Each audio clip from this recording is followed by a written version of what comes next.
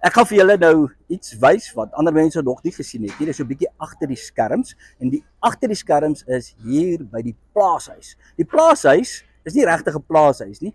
Dit is Soltech se nuwe koshuise en dit is 400 beddens wat hier gaan wees. Nou op hierdie stadium lyk dit soos 'n bouterrein en dit is 'n bouterrein, maar in Oktober vanjaar met die laaste inname van die studente gaan hier lewe wees. En hierdie is die sitkamer van die een blok. Hier's verskillende blokke en die blokke is dan soos koshuise wat teen mekaar gaan kompeteer, lekker soos die ou tyd. En hier is 'n lekker sitkamertjie. Maar bietjie, ek het net so 'n sitkamertjie gehad in my dae nie. Ek is 'n bietjie jaloers. En dan gaan ons nou gou beweeg en dan wys ek vir julle hoe lyk hulle kamers. Lekker ruimkamers moet ek nou ook sê. So hier is 'n tipiese kamer.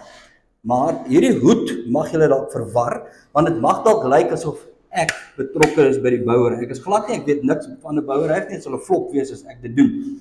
Kanton is die maatskappy wat hierdie ontwikkeling doen. Dit is dieselfde maatskappy wat Soltech gebou het en hulle het Soltech gebou in Covid onder begroting op tyd. Hulle bestuur ook hier so van die tyd hoofkantore en Afriforum hoofkantore uitstekende en 'n baie suksesvolle eiendomsmaatskappy.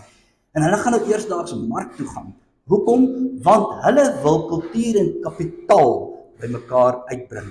En dit gaan hulle veral doen vir die groot um, akademia kampus wat op pad is. Dit is 'n reusagtige projek en daar gaan beleggers hier lekker plaaslik beleggers kan hulle beleggings kan verskans en hulle weet daar is 'n langtermyn huurder wat goed betaal, 'n goeie belegging vir mense wat wil belê en opbrengs kry en kanton van gaan een van die dae daardie groot planne ook nog bekend maak. Maar nou eers, hier is dan die plaashuis Soltech se nuwe koshuis en hierdie kamer eersdag gaan lewe met 'n student, seker 'n soet student.